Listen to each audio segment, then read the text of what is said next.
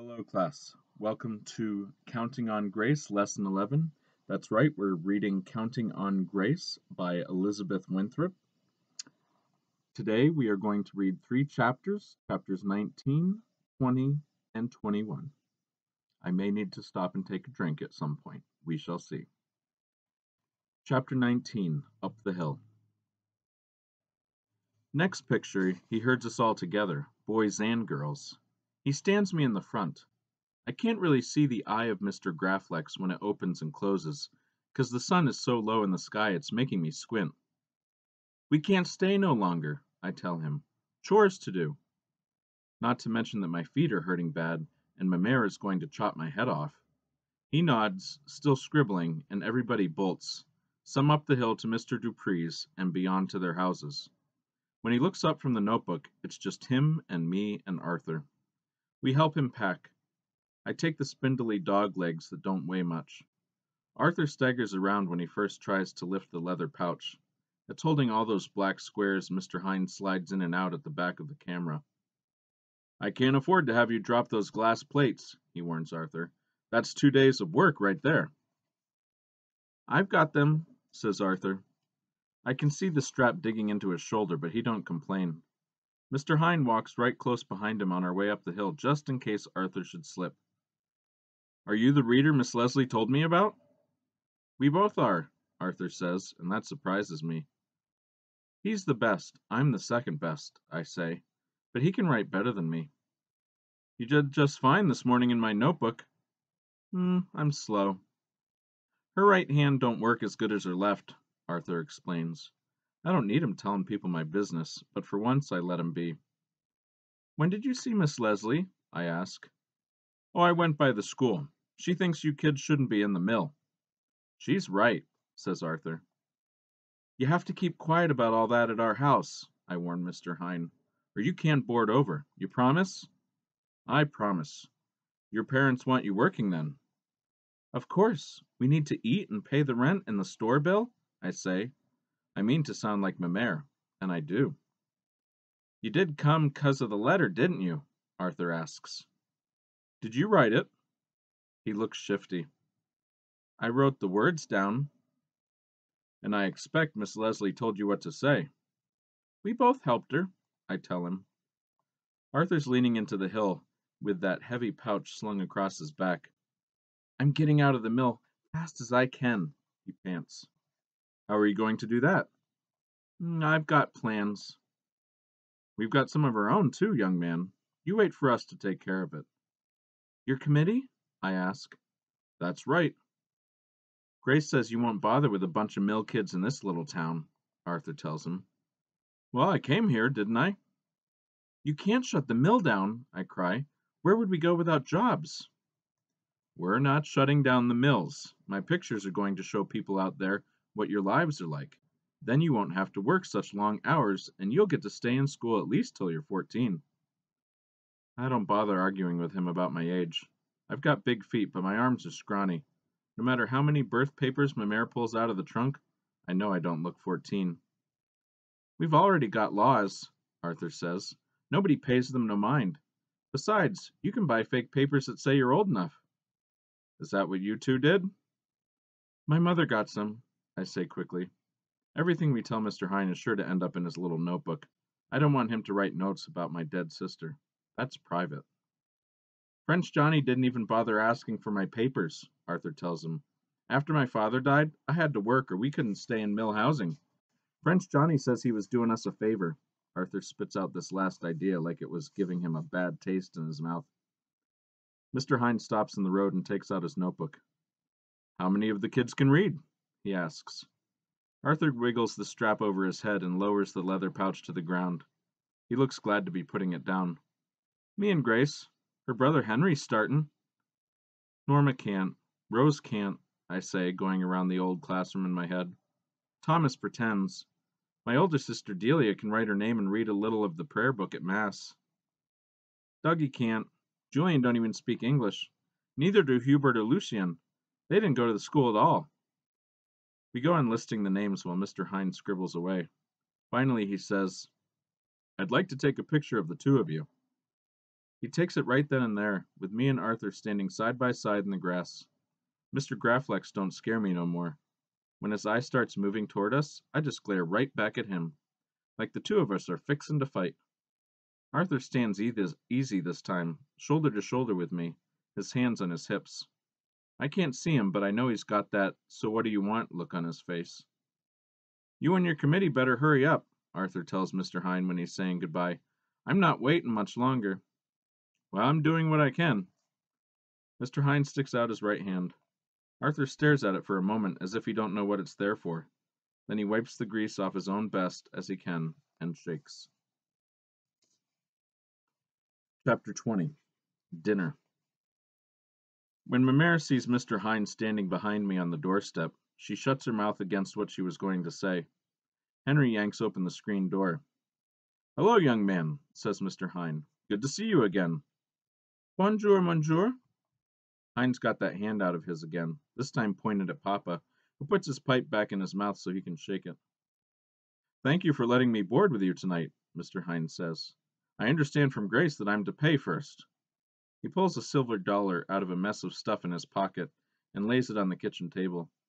For a minute we all stare at it as if it's a live thing before Papa snatches it up with a nod and tucks it away in his shirt pocket. We're not fancy, Mamere says. She points over at Pepe's corner. That's your bed. We'll eat presently. You can wash your hands outside at the pump. I'll show 'em, I say. No, says my mother. Delia's going down to the basement with the first load of laundry. She can show him on the way. Grace, I need you to do some work for a change. Grace was working pretty hard in the mill this morning, Mr. Hine says, and I cringe. Be quiet, I mouth in his direction, but he's already following Delia out the door. I set his dog legs down in the corner by the bed and pick up the first potato that needs peeling. Where have you been? my mare asks. Showing Mr. Hine the way up here to French Hill. You've been gone longer than that. Did you walk him all the way to Massachusetts and back? He needed to take some more pictures. Good thing he's scrawny. Maybe he won't eat much. The screen door opens again and I feel my mare stiffen beside me. I hope Mr. Hine don't say nothing more to set her off. She can be touchy at the end of a long day like this, especially when our Hank clock numbers are way down. She'll take it out on me, but it was much his fault as mine. Suddenly he pulls up next to me and starts in peeling a potato. I never seen a man do that before, except for Pepe. No cause for that, Mamere says across the top of my head. We're all three standing in a row. You'll get your supper. Oh, my mother and father owned a little restaurant back home. This comes to me naturally. Where's back home? Delia asks from where she's laying the table. Usually she don't talk to strangers the way I do, but he must have made friends with her at the pump. He makes friendly quickly. He makes friends quickly. Oshkosh, Wisconsin, barks Henry as if it's the answer to a test question. Good memory, son. How do you know that? I ask Henry. Suddenly Mr. Hine ain't mine no more. It feels like everybody owns a piece of him. Miss Leslie made him give us a talk about his life, and then we looked at his camera, and he took a picture of us. So you know Miss Leslie? Mamere asks later when we're sitting around the table. I suck in my breath and hold it. Let's not start talking about her. Uh, no, ma'am. I only just met her this afternoon. She seems a good teacher. Notre Senor, says Papa. We bow our heads for the blessing, and I thank God for the food, and pray that Mamere will forget about Miss Leslie for once. She don't. That Mademoiselle, that Mademoiselle Leslie may know how to teach, but she wants to keep our children from working in the mill, it's not for her to decide. Dear God, I pray again, please keep Mr. Hine quiet. Then I stare across the table at him with my eyes very big as a warning. He's not looking at me when he opens his mouth to say something, but Papa speaks first. What is your job, Mr. Hine? Why are you taking all these pictures? This time I try poking my foot across the table to knock him in the knee, but I hit the wrong person. Grace, what are you doing? Delia cries. She pushes my bare foot away, then wipes her hand off on her napkin. More grease on her smock. I take pictures of machines, and the people who work with them. And the school? Mamere asks, her voice sharp. And the school. The mill owners pay to run it, so they want to be sure Miss Leslie is giving them their money's worth. I start breathing again. I don't know if he's telling the truth or making up a pile of lies, but I can see Mamere smiling a little. Maybe it's because of what he's saying about Miss Leslie. More likely it's because Mr. Hine don't ask for seconds, even though his one small helping of stew was mostly potatoes. And the dollar I got him to pay is already safely stowed away in Papa's shirt pocket. After dinner, it's my turn at the washing. Hang the clothes inside, Grace, my mother says. It smells like rain to me. Could I go down with Grace to the basement? Mr. Hine says. Now, why would he want to do that? He answers the question nobody asked out loud. I need the use of a sink and some water to develop my glass negatives. We're all standing there, hands in midair. This man is speaking English, but not words any of us know. What does that mean? I finally ask. He makes the camera draw the pictures on pieces of glass, Henry says. Well, how can that be? asks my father. Henry's almost right. I actually use a chemical solution to make the pictures show themselves on the surface of the glass. No fire, my mother says. No, ma'am, no fire this time. Uh, Grace has a pile of washing to do, my father says. Oh, I can help her, Mr. Hine says. So the sink so the sink gets freed up faster. Imagine a grown man doing the laundry. Mr. Hine is complimento compliment fou my mother is thinking. And she may be right. But I don't care. Anybody who wants to help me with the washing is welcome to join me in the basement. Again, I apologize for my horrible mispronunciation or horrible pronunciation of French. Chapter 21 The Ghost Girl. He's a good scrubber, but he gets mad when the grease don't come out. I have to move him along or else we'll spend all night in the basement fussing over the hem of Mamere's skirt. You a smoker? I ask. No. Your fingers are colored dark like my Pepe's. He said it was from the cigarettes he used to smoke. Ah, it's the developing chemicals, he says. Now he's scrubbing away at his fingers. They're like the dress, they don't come clean either. Does your Pepe live with you? He did, but he left, I say. You're sleeping in his bed. Where did he go? My throat feels like it's closing up. Uh, back to Canada. He don't like me working in the mill either. He wants me to go with him. Will you? I shake my head. I don't want to talk about Pepe no more. Are you married? I ask. Yes. What's your wife's name? Sarah Ann. She's angry with me at the moment. Why? Because I'm always on the road taking my pictures. Sometimes she travels with me, but not this time. She wants me home. Do you have children? Not yet, but I used to be a teacher. I figured that, I say, the way you act with kids. Why? You're not scared of a bunch of us all together, and you're not mean to us. Seems you're used to kids. Hmm, maybe I even like them, he says. Miss Leslie wants me to take the rest make wants me to take the test for the normal school so as I can learn how to be a teacher. I trained at a normal school myself. Miss Leslie is right. You should do it, Grace. I roll my eyes. I'm a doffer, and one day I'll be a spinner, I say. That's my life. But even as I'm saying it, I know some little corner of me is hoping it's not true. Leave it be, I say, snatching Mamere's green skirt away from him. The grease never comes out completely. Even if it did, it'll just be back tomorrow. Let me try one more time. No, I say firmly as I feed it through the wringer. I'm not going to waste no more time on a smock that's going to spend next week mopping up the mill floor.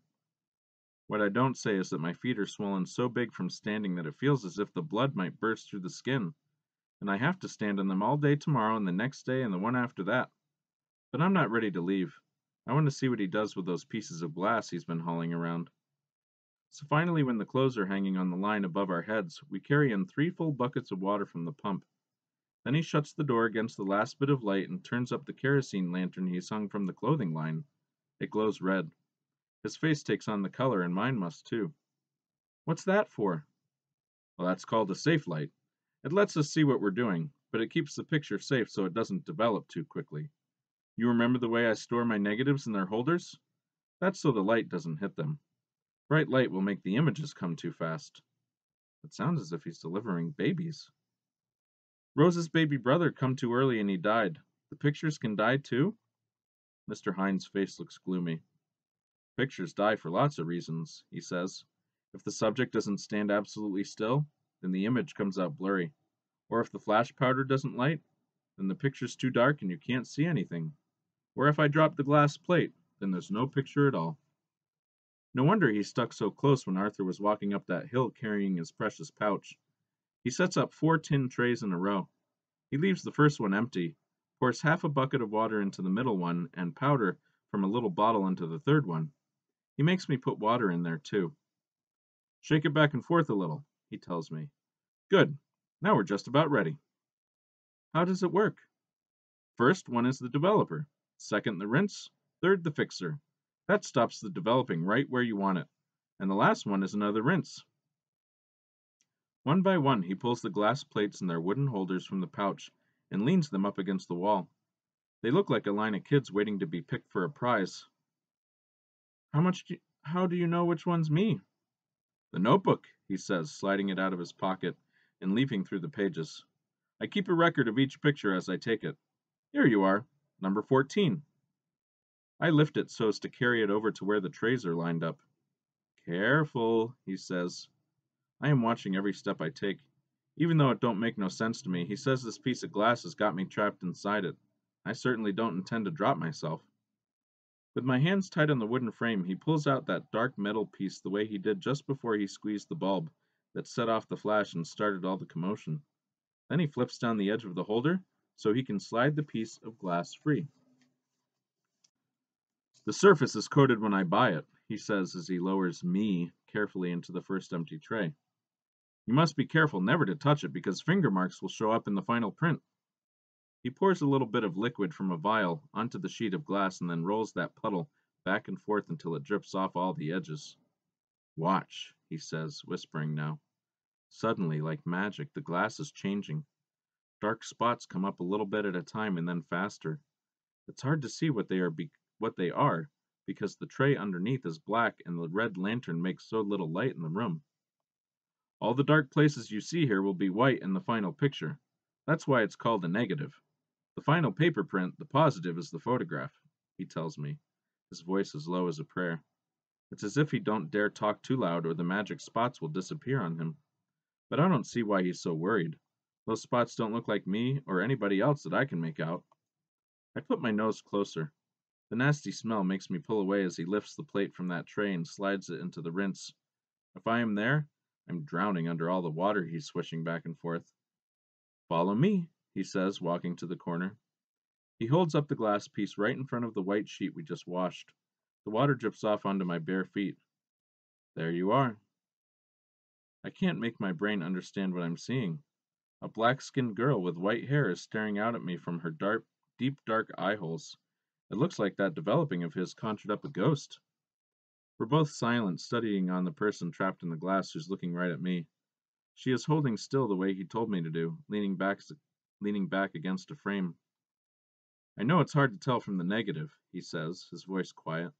I'll send you a copy of the print once I get home. Look closely now. That's your smock with the fat pockets, and your arm leaning up against your machine. What do you call her? Marie. But what's wrong with my face? Nothing. You're very pretty. That's the same face you see in the mirror every morning. We don't got a mirror. Delia's always trying to catch sight of her reflection in the store window when we go past on the way to the mill. Whatever for, I wonder. Everything you're seeing is in reverse, he says. So your legs are white, and in this picture they're black. I finally begin to get it. And my feet are black from the grease, so that's why they're white in the glass here. Exactly. I reach out my finger. Don't touch, he warns. He's right. It is me. You know how I can tell? Marie's got two spindles that are missing their guides, and there they are just below where I'm resting my elbow. Nobody else doffs Marie, so it has to be me. And now I'm looking closer, I can make out Delia's old shirt with the little white flowers that got passed down to me, and the little and the little checks in my gingham smock. I'm teaching my brain to take everything it's seeing black and turn it around. But there's such a scared look in this ghost girl's face. How could she be me? I slap him on the arm and he flinches. That's not me, I say. Your notebook is wrong. That's some worried little woman. That's you, Grace, he says, and lets out his breath as if he's been holding it. We stare some more. I've got big eyes, I say at last. You see that cut? He glances at my right hand and then back at the picture. Sure enough, old Mr. Graflex caught it too. See what I mean about the grease? I tell him. You can't never get it out. You don't have shoes? No use messing them up in the mill. I keep wanting to touch my glass self, but he won't let me. My arms look awfully skinny, but they're strong. I can even lift the roving creels for my mother. I'm sure you can. You've got to be strong, Grace, to survive in the mill. He looks at me with such a sad face that I feel like shaking him. Without another word, he takes the negative back over to the third tray, and I trail behind as if he's carrying a piece of me, and I can't let him out of my sight. He lowers me into the water mixed with the fixer and leaves me there. I lean over to stare, but I can't see nothing. The smell of that one makes me wrinkle my nose, but I don't pull away. I disappeared, I cry. I didn't like that ghost girl, but that's all there was of me. I jiggle the tray and some water sloshes out. Mr. Hine, come quick! He's not paying no mind. The picture died already. He looks up finally from his place by the wall. He's working a second piece of glass out from the other side of the holder. It's all right, Grace. The background is too dark for us to see anything when the negative is resting in the trays. In a few minutes I'll take it out of there, rinse it again, and set it up in a drying rack. Meanwhile, I'll start on this one of you and Arthur. Mr. Graflex has got me trapped inside two more pieces of glass, I know, but suddenly I don't care no more. I feel limp. My feet are aching something bad.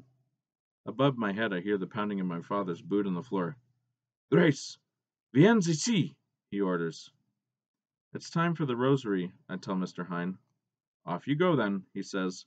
Open the door quickly and be sure to close it tight behind you. It's dark out now, I say. He don't answer. I can feel him waiting for me to go so he can get on with his work. The mare holds herself the same way when her foot's itching to jog the rail.